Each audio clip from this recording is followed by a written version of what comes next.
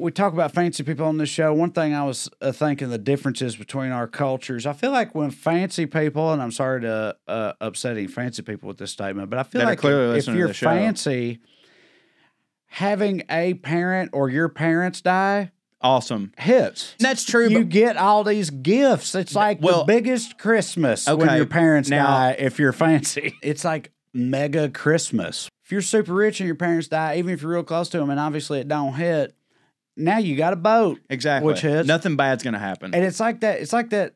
That old Louis bit about how like when you have money, you get paid money to have, Have money, money, but yeah. if you don't have money, it costs money to not, Not have, have money, money. yeah. and that's so true. And it's the same thing with having your parents die. On that note, I want to share a personal anecdote. This is how trash I am. This is how on the opposite end of the spectrum of fancy I am. So, I was uh, raised mostly by my father because uh, my parents split up and my mama found out about oxys, which really hit for her.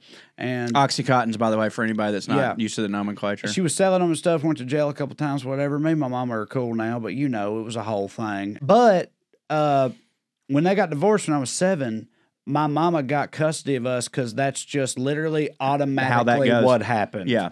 Like that.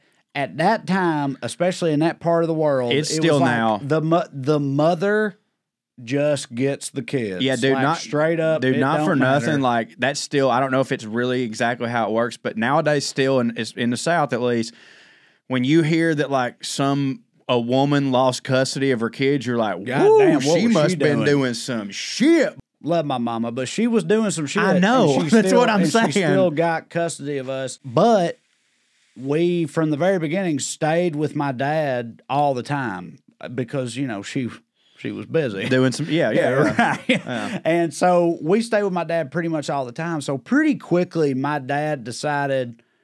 I ain't giving her ass no child support. Right. I'm the one supporting these kids. But the thing is, in redneck culture, we don't fuck with the law or lawyers Courts, or the court. police, court don't hit. You don't do anybody that- which is why type of so, red tape. Which is why it's so ironic that rednecks are so fucking tight with It's cops just so nowadays. like, when the dude. fuck did that happen? Yeah. So my dad just stopped paying child support because he was like, "Fuck that." Yeah. I support They're them. here. They're Yeah, here every right. night. And that went on for years and years. And then when I was in high school, it's something because you know child support like goes through the state.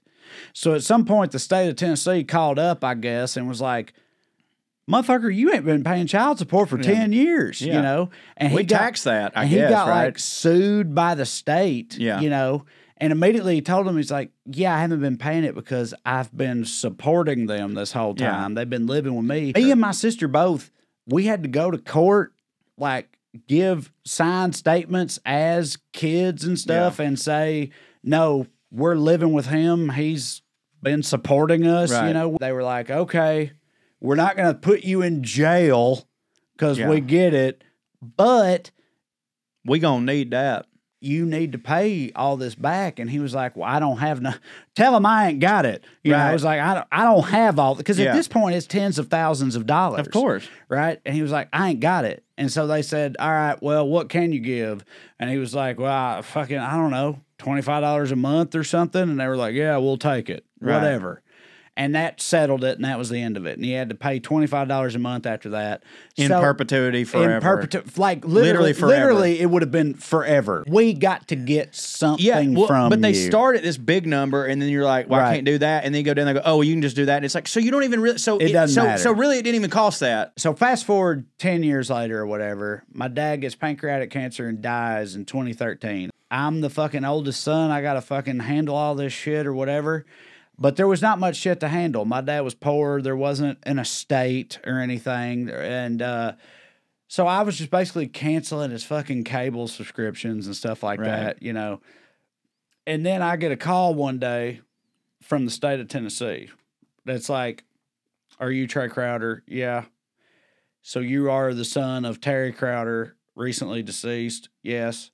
And they were like, Well, you know, your dad still owed the state of Tennessee however many tens of thousands of dollars. And I was like, Yeah, I know. For child support, right? And they were like, Yeah. And I was like, Yeah. Well, there ain't nothing. So I don't know what to tell you. Yeah, And they were like, okay, but there's a house, right? The house I grew up in. They were Yeah. like, there's a house. And I was like, yeah, there's a house. And they were like, "Well, so here's what you can do. We'll help you out. We'll help you. We'll out. help you out. We'll help you out. Here's what you could do. You can sell that house, and you can pay us back from the house money." And you can keep the rest of it, Yeah. you know, whatever. Which, dude, it's like my house. It was the equivalent of like a double wide trailer, but just a house, It- Right. and it's in Celina, And not the- the property value It is you- not worth much. So I was like, I was like, okay, so that house now goes to me. We both acknowledge that. They were like, yeah. I was like, I'm the executor of the estate, even Yeah. though there isn't an estate. You're the puke of So I'm- Cambridge. so I'm yeah, so I'm responsible for this. So we're like, yeah, that's why we're talking to you. And I was like, so what you want me to do is you want me to sell the house that I grew up in and take half of the proceeds and pay y'all back for my own child support. That's what you're asking me for right now? Mm-hmm. And I swear to God, the lady on the phone was like, uh, yeah. can we call you back? And I was like, I was like, yeah. No one's ever said And- it like that yeah, before. I got a call the next day from some manager dude or whatever with the state who was basically like, again, to their credit, probably because I'm white, I imagine. Of course, bro. To their credit was just like he was just like, yeah, listen, We just gone. you don't have to worry about It's that. right. Which I even even though I'm white, I still, still- can't believe that happened I- that way. I can't either. Still cannot believe that they weren't like, listen, Because at least you to- were still poor. You're gonna have to handle it some way, Right. You know? But Like, they that's not- actually 'cause to me, listened to reason. We're like, yeah, we're not gonna make you pay your own fucking child Right, support. because like uh, this is another one of those situations where it's like I didn't know that red tape was so easily pulled up like that. Right. And I still can't believe that they weren't just like, yeah, I hear you, but like, Yeah, you're What- gonna have to pay your own child. Support. You're gonna have to pay I'm your own child support. The state of Tennessee has a bill that's due, and Yeah. it's got your name on it. sorry, we're gonna yeah. we're gonna make you the protagonist in a Willie Nelson song. You're your own grandpa.